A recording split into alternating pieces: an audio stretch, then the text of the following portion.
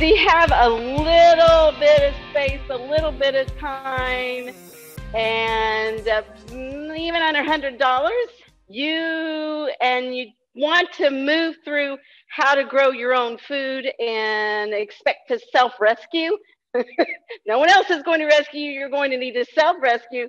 Then you've come to the right place because this is Get Growing Free Hydroponics Online. This is session number five. It was supposed to be tips and techniques for harvesting. However, we're going to take a little bit of a side note and we're going to visit more about seeds. And that's just because we've been working together. And because we've been working together, I know that there have been some challenges with seed starting. And really, that happens no matter where you grow. In fact, Carol and I were talking about the fact that people don't grow from seeds. They go and buy the plants and plant them either outside and even sometimes in hydroponics because why, Carol? Why do people go and buy the plants? Um, well, some people just don't think they can grow from a seed, or they don't have the patience to grow from a seed, or they just don't know how to grow from a seed. and as Melissa said, we were talking before it started and the session started, and she said, I'm not giving up. and that's what I want. I don't want you to give up. Before we start that, though, there was something that Melissa noticed. What's behind me, Melissa? What did you notice? I noticed how big those lettuce leaves are getting. yeah. I it has been seven days since our last session, yeah. and they basically exploded. Look. That's beautiful. It is. Oh my God. And and what we're not going to and I it was going to be and then there was the plant. Remember the smaller one that had been in the mm. cold. Look how big it is. Oh yeah. Yeah, he just had a little tiny before. so we're gonna stick those back in. Make sure we get the roots back in. We'll let this one have its place of honor for mm-hmm. a few minutes. So it can sit there and look very pretty and elegant. Not that only that, that reminds me of a trophy. Like it looks like a trophy. I know, I know it does. It looks fake. It does, doesn't it? It looks fake. It does. Most people I know it does have, not taste fake because I have had some of your lettuce, and that's what I'm rooting for myself to be able to do because I know it's phenomenal. That and that's exactly why I am rooting for you to be able to find the growth. And actually, we compared notes. One of the starts that you put outside looks like one of mine that we started at the same time. This is the one from yesterday. So all the all the plants here have all these starts have now, and they've been placed in the DWC. They've been in the deep water culture tank with aeration for approximately 10 days. And look, they all have true leaves and they're over two inches long. And this is a starfighter. This is, will look different than the, the head so the green butter has a head and this starfighter has, uh, is a loose leaf, is a looser leaf. And speaking of true leaves, this is one of, I know that Melissa has some of these growing, some loofahs. And if you look, there's a difference. This is, it's a cotyledon. These are the leaves that come from the hypocotyl. And these are the true leaves and they're different. So you'll know when you're looking for true leaves, and that we'll need to know that. And let's go into that. We'll need to know that when we start to transplant. But let's let's go with more about seeds. Let's say you prefer soil. We got that. Melissa has told us that she said what? That you can't you can't grow where? in Outside. my backyard due right, to right she yes due to many critters that love to eat all of the So- things. this year was the first time in four years that we have actually taken and placed starts in soil. And part of the reason was so that we could have a comparison. Part was because we had a little bit more control. But if you'll see, I'm going to just very gently poke up on this one.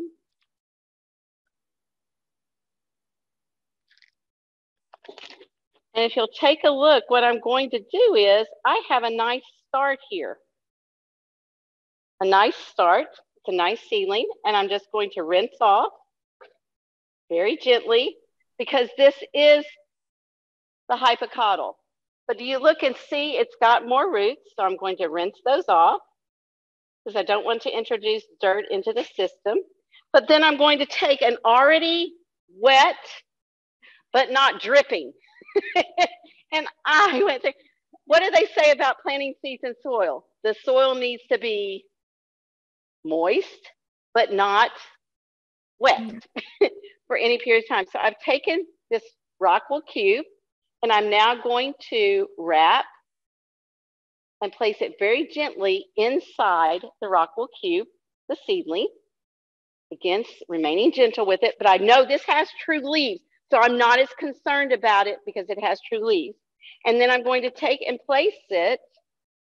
And I'm going to make sure that my, you see the, the net cup?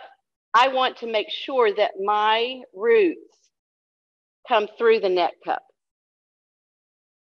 I want to make sure that my roots cut through the net cup. So I put those in and now I'm going to put the Rockwool cube around it then I'm going to take that and I'm going to place in the lightweight expanded clay aggregate, those pebbles. And that that I started in soil, because you can be successful with soil, I'm going to take this and in one of those places where I had space, I'm going to place it and it's up here in one of these I'll place it here for now. But I'm just going to take this and put it in my DWC tank. So it doesn't. You can start in, so this is a pepper plant that was started in what? Soil. I took, cleaned it off. I put it gently into the Rockwool cube, placed it in the hydroponic tank. Let's go the other way. So that was soil to hydro because actually it's not growing hydroponically until you get the seedlings into the hydroponic tank or into your NFT or into a, another form of hydroponic system. These plants are growing hydroponically. And we're going to transfer these into soil. These are tomatoes. Look how long the root is on that. But these, if we can, you can keep growing tomatoes and you can grow tomatoes hydroponically. But what do you know about tomato growth? it goes what? Yeah, straight up. it keeps going up. And you can see that these are going there. But why, why start them in hydroponics? We mm-hmm. start them in hydroponics because hydroponics is two to three, germinates faster, and the growth is two to three times faster. So now is actually the perfect time for gardeners who are going to be gardening outdoors, planting outdoors in containers, in raised beds. Now is the perfect time to be growing where? Starting your seedlings in what? Uh, Rockwool or hydroponically. Yeah, hydroponics, exactly. That because um, I this is very helpful for me, especially because I'm an outdoor gardener and I know what to do outdoors. And I understand by I've seen what you can do. And my first or second batch indoors hydroponically weren't cooperating with me, but it was my fault because I they were too saturated, is what I've decided. So I did save one and put it outside. And I actually thought I'll take some of these that are growing and bring them inside. So it's very helpful for me. And my last batch that I put in, I put everything that I grow outside because I'm like, what, how can you lose? If, if you can get a seed started with some roots, whether like I can't grow my okra indoor, obviously, eggplant, tomato. So right. I appreciate knowing that. It's going to be very helpful for me. Because it's just, it's, well, and part of what happens to gardeners at this point in time is that you don't have here, we've got 14 to 16 hours of light and then plenty of time to rest. Then they have the time to rest because the darkness is when a lot of growth occurs. People don't realize that. You don't want the light on the entire time because they need to rest. They need to not have photosynthesis occurring. But that way, when, if you start now, if you start indoors, then you have more predictable light. You also don't have the risk of a plant coming up and insects or we've had snow in March and or in April. And so that is this makes it just more successful. And I did have um, I planted indoor on paper towel to see the root my beet seeds because they're I plant outdoors. I have no problem with planting seeds outdoors, but I I wanted to see the roots because that can be a little tricky. I had um, 56 beets growing they were beautiful. Uh, two weeks into it, they were gorgeous. I said to my husband, Look at these, they're beautiful. I'm so excited. The very next day we went out, all but three of those were eaten, all but three. And I had to go buy them at that point because the weather I needed to buy them, it was like $76 to replace that. So this will be amazing growing them inside because you got to get them to a little bit of a start to put them out and you said and you said it thank you carol. That's exactly it. And melissa said it. She said she's determined because she doesn't have that option. And a packet of seeds is very different than going and buying the plant. But it let's just say you can buy a start plant if you want. They're running three to four dollars though. These tomato plants that are here every other roll because we have seminole pumpkins and there's some squash in here these tomatoes were the ones, these tomato plants were the ones that were in Oasis cubes and were just extras. and, and a lot so, cheaper in a greenhouse, you know, and so. Perfect. Why look at options for seeds? Why look at options for seeds? Because if we don't, if, if I said this one way is the right way, and you've heard me say that it's no one fails. You find a way that doesn't work. But if if you if I had said this is the only way to do it, this is the only way, I said I'm passionate about hydroponics because I want to expect to self-rescue. I want to know where my food comes from and I want it to taste good. I after tasting hydroponically grown lettuce, you'll never go back. you'll never go back. But if we only approached it with this is the one way, it would be saying that the only tool I've got available to me, the only one I have available to me is a hammer. That means that every single problem you have looks like a nail. No, no. You have screwdrivers, you have wrenches. In fact, in desperate times, I've used the wrench as a hammer. to hammer something in. I want it where you see options and you see possibilities, and that we go from hydroponics to soil and soil to hydroponics. And what we're really doing is helping people to grow their own food. So they're self sufficient and things are sustainable. What is something? Oh, one other trick I wanted to tell you about. When you go from, and this is really important, note this, when you go from hydroponics and start in the hydroponics, this little plant, when it goes out after the last possible, the last possible frost, when it goes out and we put it into the ground, it's going to be covered with this type of pot. Now you'll look and see this is not an expensive pot, but it has holes and it also so it will let in some sun and it will let in some what what it needs. But what it does, check on it, but at least every for at least how many days is it? One week? About one week.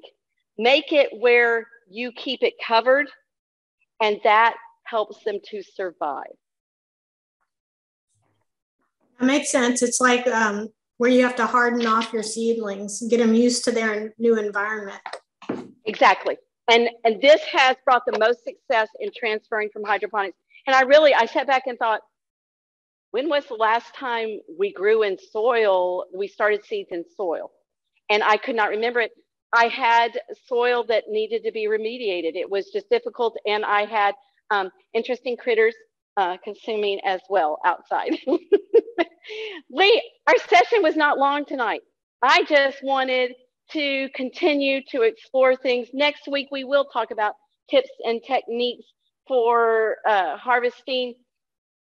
If and, and when you do put in, you know, you can, you know, it doesn't even have to be this difficult.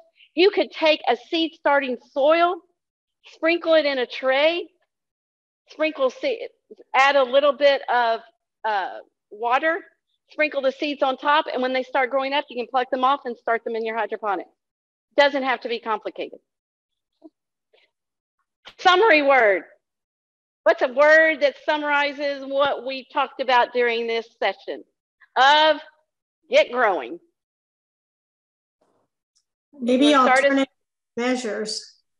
Alternative measures. Very well said. Why alternative measures, Carol? Well, because for one thing, I started off and thought it was great. I had 12 seedlings come up and I was just ready to go. And three days later, they were all dying. It took me a while. I'm like, what happened? They were beautiful. And I just, this is like my third set. And I'm just now getting the right um, amount of water for the Rockwool to figure it out. I was, I oversaturated my first batch, not really realizing it, it takes, it's like, it's even outdoors you you have to learn. I mean it takes time to figure out exactly like how much water did i really need in that rock? Well it was my fault. I i saturated them and they did not like that. So the last batch i did i've got like eight now. I'm hoping by maybe in a week and a half i'll get some true leaves. So i'm excited about that. And i'm going to go pull that a small little a seedling and put it back in the house just to see what it happens. You just have to keep trying. It's just like if you're used to outdoor gardening, you had to learn and you had to go through a lot of different things to get it to work. Same thing. So perfectly, per- yeah, perfectly said. Perfectly said. Uh, and and thank you for that encouragement. We know that people. That's one of the reasons why people quit is because of the seed starting, the seed start. Melissa, what's a summary word for you? Yeah, I mean, I loved that alternative measures that you said, Carol. And I would just add, yeah, like try again, try again. And that's what we did today um, in our school for science. We're, we're covering some, you know, uh, botany units and things. So we we started our seeds from the very beginning, and I had the kids, you know, balancing the pH and they they mixed up their water very carefully and they each you know used the tweezers to pick out the lettuce that they wanted. I let them pick their own seeds and they you know just basically everything you've taught us. And we started from square one today and i said guys we're just going to do this and they they carried it very carefully over to their little seed warmers. And um, i think it's going to be it's it's just fun to watch them. And i and i was telling them like you know i i didn't i wasn't able to do this. Maybe all together we could we can make this happen this time. So they're they're very invested. And it was really neat like starting from the beginning with everything and explaining it to kids. So i really appreciated that. Thank you melissa. And that was one of the things that i want and, and i'm going to be sharing with with melissa's children as well when we start uh, our, our STEM lessons, when I start my STEM lessons on making math exciting and, and igniting and, and putting the fire back in science and math because we're going to be using uh, scientific method and only one uh, one variable. And I know they're growing. How uh, I mentioned they're growing loofah as well. And plant this outside, it, you will have a lot of sponges. Thank you for being in session five with me. Thank you for your feedback. Thank you for watching the, the lettuce grow with me. And we will be back next week to discuss how to harvest some tools, some techniques, just some little tricks for that to make it where you can come again. And if you if you like what you saw, subscribe so you always know to come back. Also visit Hydro for Food. That's Hydro, the number four for food.com for resources, for my blog, and for what is happening as we get growing with hydroponics.